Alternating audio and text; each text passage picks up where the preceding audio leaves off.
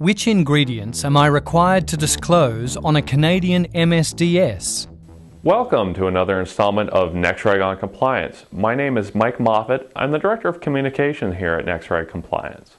So recently a client asked me, I said, okay, well if you've got a mixture that uh, it's made up of a number of ingredients, how do you decide which of those ingredients you need to disclose on a Canadian MSDS?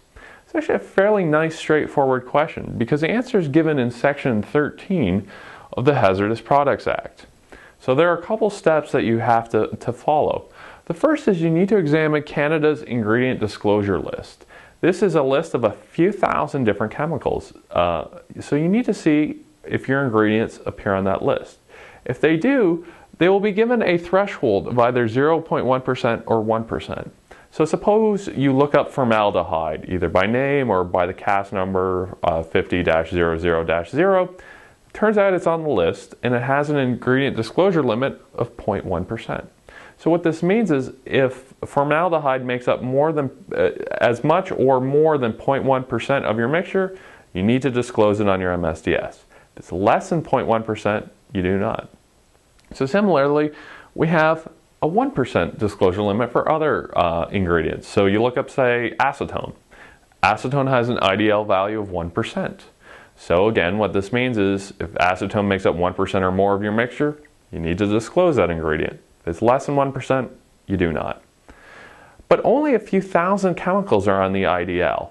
Many are not. They're either not because they're not considered hazardous or they simply haven't just simply haven't made it to the list, you know, because there are hundreds of thousands of different ingredients out there. So then what do you do? If it's not on the list, you have to see whether or not it would be considered a hazardous component under WHMIS.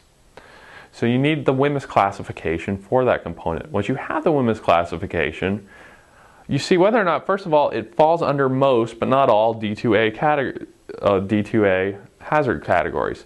If it does, then it has a disclosure limit of 0.1%. If it's not one of most of the D2A categories, but instead is either D1A or D1B, uh, the small dose category of D2A, or D, any of the D2Bs, then it's going to have a disclosure limit of 1%.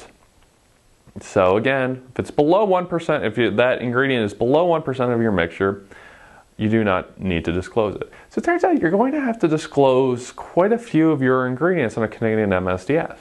Well, this naturally leads up to a follow-up question. It says, well, look, it looks like I'm pretty much giving away most of my recipe on my MSDS. How, you know, how can I protect this information from my competitors? Because I don't want them simply copying my recipe, copying my product, and, you know, coming out with a Me Too product.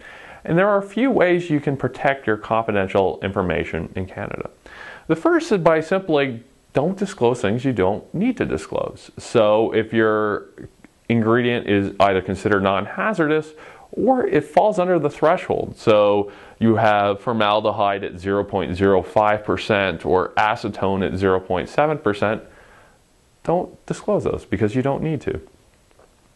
Secondly is to use WHMIS ranges. So in the, the, the WHMIS regulations, in the uh, CPR, there are 13 different ranges you can use for your chemical components. So instead of saying, look, I've got acetone in this formulation at 3.728%, that's too much information.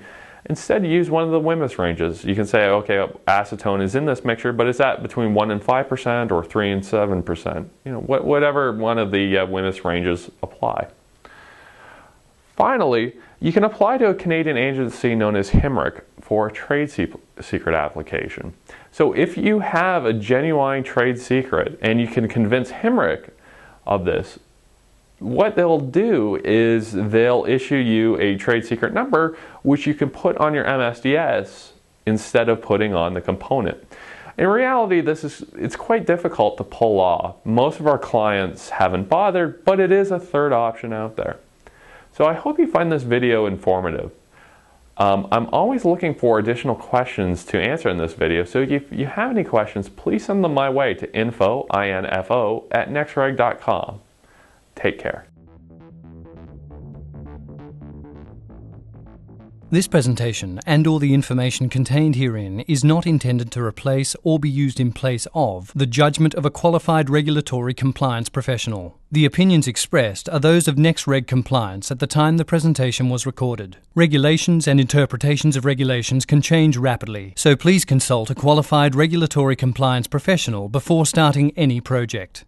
This presentation is presented for educational purposes and is therefore supplementary and not to be considered exhaustive. NexReg Compliance, its officers, directors, and employees hereby disclaim any and all responsibility for any loss, injury, damage, or expense directly or indirectly arising out of or relating to use or reliance on this presentation or the material contained in this presentation.